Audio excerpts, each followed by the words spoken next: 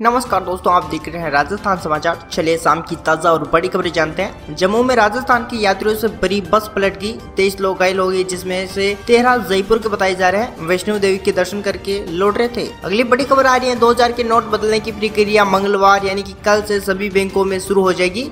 ऐलान के तीन दिन बाद रिज़र्व बैंक ऑफ़ इंडिया के गवर्नर शशिकांत दास ने कहा है कि लोग नोट बदलने के लिए बैंकों में भीड़ ना लगाए। हमने चार महीने का समय दिया है। आप आराम से नोट बदलिए, लेकिन समय सीमा को गंभीरता से लीजिए। अगली बड़ी खबर आ रही है, राजस्थान में भीषण गर्मी के बीच हल्की बारिश का दौर शुरू हो गया है। इसी दौरान राजस्थान के बीकानेर, जयपुर, भरतपुर और अजमेर संभाग के जिलों में आज आंधी बारिश होने के साथ कहीं कहीं ओले भी गिर सकते हैं। इसमें तापमान में चार से पाँच डिग्री सेल्सियस तक की गिरावट हो सकती है। बड़ी खबर आ रही है, इंदिरा गांधी नहर का पानी जोधपुर आने में लगेंगे पंद्रह दिन।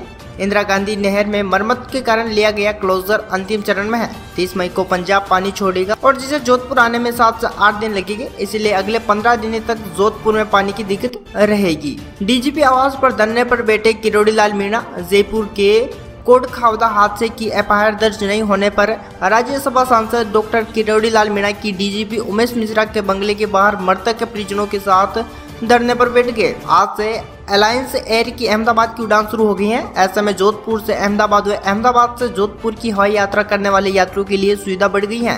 इससे एयरलाइंस का किराया तीन हज़ार से शुरू होगा। चलिए अगले बड़ी खबर जानते हैं। प्रदेश में एक बार फिर से बिजली संकट खड़ा हुई है। जहाँ एक तरफ़ पारा चालीस डिग्री पहुँच गया है तो दूसरी ओर बिजली कटौती ने लोगों को घरों में रहना भी मुश्किल कर दिया कोयले की कमी के चलते प्रदेश में कई यूनिटें बंद हो गई हैं जिसके के चलते प्रदेश भर में डिमांड के मुकाबले तीन लाख यूनिट कम बिजली उत्पादन हो रही है और लगातार बिजली कटौती की जा रही है। अगले बड़ी खबर आ रही है, राजीव गांधी शहरी एवं ग्रामीण ओलंपिक का शुभारंभ इस बार तेईस जून से उनतीस अगस्त तक होगा। लेकिन बड़ा सवाल यह है की तेईस जून को भीषण गर्मी के बीच क्या ये खेल हो पाएँगे? क्यूँकी इस खेल में आयुष्मान सीमा नहीं है, तथा कोई भी इसके लिए रजिस्ट्रेशन करा सकता है। सरकार की भी मंशा है की इसमें अधिक ऐसी अधिक लोग प्रतियोगिता में भाग ले पोते भी खेले तो दादा भी भाग ले, लेकिन जून महीने का तापमान पिछले वर्ष भी तैयलीस डिग्री के आसपास था।